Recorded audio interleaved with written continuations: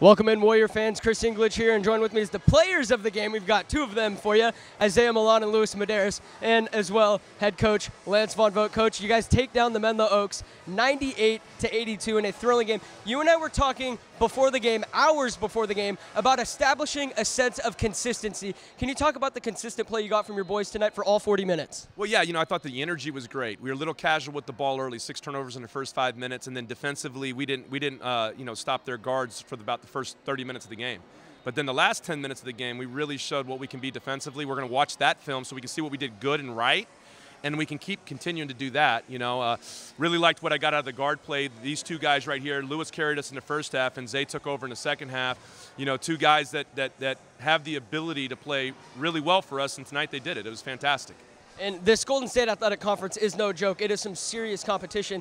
And you guys split your earlier road trip earlier on in the season against Life Pacific and Hope International. Can you just talk about what it means to just continue to grind out these wins in conference play? Well, I'll tell you what, you know, every game that you play is the most important game of the season, and uh, all of these games are like they count double because you're playing against teams that are capable of being in the national rankings. So, uh, you know, we know that if we want to reach our ultimate goals for the season, we've got to just take them one game at a time. There are many one game seasons, and, uh, you know, win as many of those as we can and see if we like where we stand at the end of the year. It's all about the hard work that we put in every day. Uh, practice consistency leads to game consistency. But before I turn over the mic, you know, this is your last broadcast. It's my last time doing an interview with you.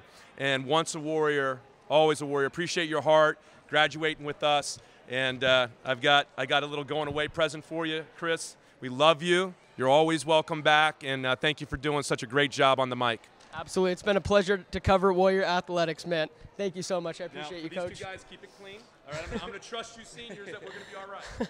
and for those that don't know, I spoke with these two players before the game, and I looked at each of them in the eye. I told both of them, hey, I want to see a big game from you guys tonight. They combined for 50 points between the two of them. I'll start here with Luis Medeiros, who had 27 points, a season high, 13 rebounds.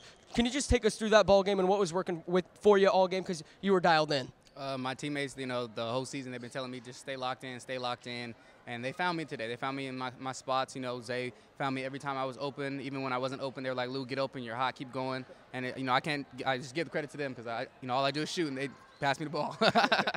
Now over to Isaiah Milan. You ended the game with 23 points. However, at the end of the first half, you had eight. You were kind of surveying the floor. You had a ton of assists in the game. You were kind of feeling the game out. But then you really turned on the Jets there in the second half. What was working for you?